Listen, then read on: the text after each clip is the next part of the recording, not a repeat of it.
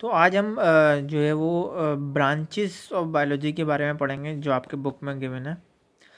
तो पहले ब्रांचेस जो है वो मॉलिकुलर बायोलॉजी है। आप इस तरह याद रख सकते हैं कि मॉलिकुलर बायोलॉजी वो होती है जिसमें हम मॉलिक्यूल्स के बारे में स्टडी करते हैं।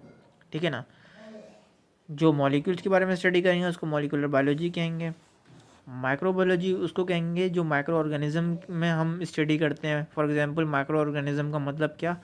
वायरसेस, बैक्टीरिया, पैथोजेनिक फंजाई, ये तमाम जो हैं वो माइक्रो ऑर्गेनिज़म हैं मतलब छोटे छोटे ऑर्गेनिज़म हैं छोटे छोटे लिविंग ऑर्गेनिजम्स हैं। वैसे वायरस जो है वो लिविंग नहीं है, वो लिविंग और नॉन लिविंग दोनों में शुमार होता है। पर आपको इस तरह याद रखना है माइक्रो ऑर्गेनिजम्स कि जो भी हम स्टडी करेंगे, हम माइक्रोबायोलॉजी में करेंगे। Which can only seen by under microscope जिसको सिर्फ़ और सिर्फ़ माइक्रोस्कोप की मदद से देखा जाता है। हम उसकी स्टडी करने को माइक्रोबायोलॉजी कहते हैं।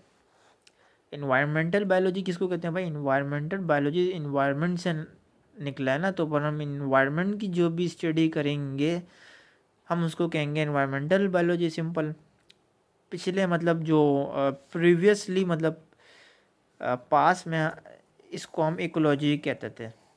ठीक है ना? इकोलॉजी कहा जाता था इसको, लेकिन अब नहीं कहा जाता।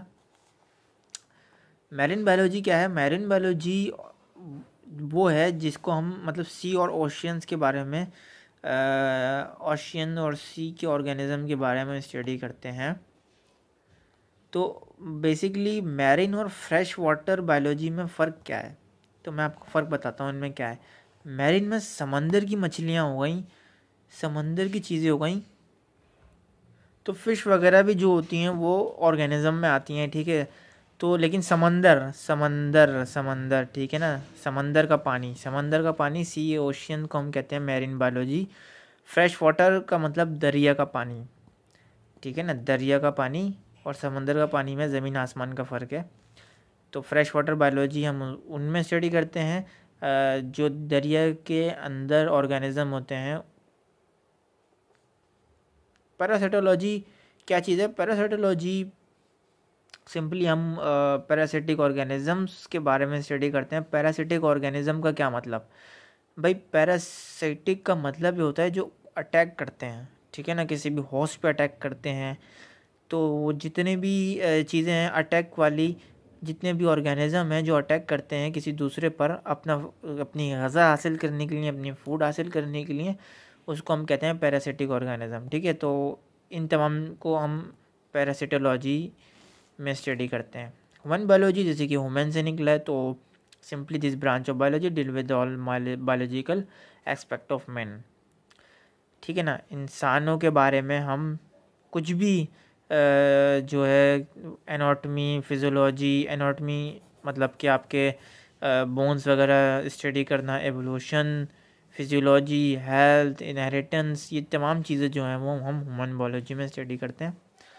सोशल बायोलॉजी क्या चीज़ है? सोशल बायोलॉजी वो चीज़ है। Social interaction. सोशल इंट्रैक्शन को ही हम सोशल बायोलॉजी के अंदर काउंट करते हैं। फॉर एग्ज़ाम्पल आपके मतलब आप एक जगह रह रहे हैं, आप एक एरिया में रह रहे हैं, ठीक है ना? सेम स्पीशीज़ से आप, ठीक है? तमाम वुमेन बींग्स हैं, एक एरिया में रह रहे हैं और उन तमाम जो भी एक सेम चीज़ होती है उसको हम पॉपुलेशन कहते हैं, ठीक है ना? उस पॉपुलेशन को स्टडी करने को हम कहते हैं सोशल बायोलॉजी बायोटेक्नोलॉजी क्या है भाई? बायोटेक्नोलॉजी में हम टेक्निक्स ऑफ़ इंजीनियरिंग जो चीज़ें होती हैं, हम उसके बारे में स्टडी करते हैं और बायोटेक्नोलॉजी का काफ़ी अच्छा खासा रोल है इस दुनिया में। इसी की मदद से नई नई हम जो चीज़ें, जो है, हम क्या कहते हैं, इस दुनिया में ला सकते हैं।